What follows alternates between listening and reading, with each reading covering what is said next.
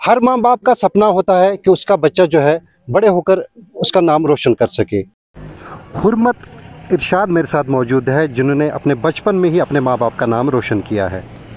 इस वक्त मैं मौजूद हूँ सोपोर इलाके में, और सोपोर की यह हुरमत मेरे साथ मौजूद है, जिनका वीडियो जो है कल काफ़ी वायरल हुआ, और सचिन तेंदुलकर ने भी जो है ट्विटर पे जो है आ, पोस्ट किया। इस हवाले से इनसे हम जानना चाहेंगे कि कितना खुश है ये। जी। मैं बहुत खुश हूँ सचिन सर ने मुझे ट्रीट किया और शेयर किया। जी। हाँ। तो क्या कहना चाहेंगे आप उनसे?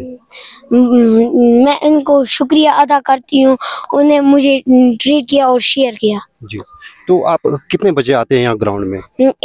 एट बजे। अच्छा आठ बजे आते हैं। हाँ। तो ये आपकी टीम है? हाँ। इनका इंट्रोडक्शन दे दीजिए। इनका नाम? जहाँ इनका नाम बताइए। जासिम भट्ट जी। अरसलान जी। सामिन मुश्ताक असरार आतिफ इरशाद फैसल फाहिज माजिद इकलाक तो सिर्फ़ लड़के हैं लड़की लड़की कोई नहीं है हाँ? नहीं। तो अच्छा लगता है आपको इनके साथ खेलना? हाँ। जी।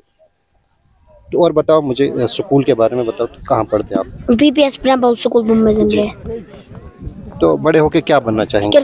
जी तो आप यहाँ क्रिकेट खेलते हैं अ, वैसी फैसिलिटी है यहाँ पे थोड़ा सा इस बारे में बताओ क्योंकि मैंने देखा कि विकेट्स भी नहीं है यहाँ पे। यहाँ पे विकेट्स भी नहीं है हम कैन रखते हैं विकेट्स? यहाँ पे भी एकेडमी भी नहीं है हम एकेडमी में जाए मगर यहाँ पे नहीं है। जी। हम्म, तो कौन सा प्लेयर आपका फेवरेट है? शिखर धावन। और कौन? हम्म, मिथाली राज। आपका फेवरेट शॉट कौन सा है? कवर रहे तो क्या कहना चाहेंगे आप इस वीडियो के हवाले से आप अ, अ, सरकार को जो आपको देखेंगे उन सबको क्या कहना चाहेंगे आप? शुक्रिया अदा।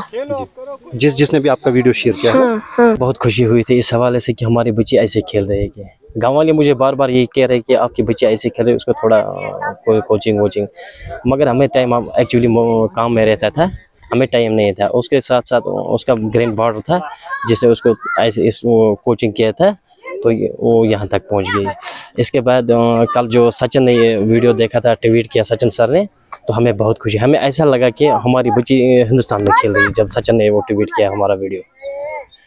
तो मतलब यही सपना होगा कि ये बड़े होकर हमें बहुत शौक था कि वो इंडियन टीम में खेलेंगे बहुत शौक था।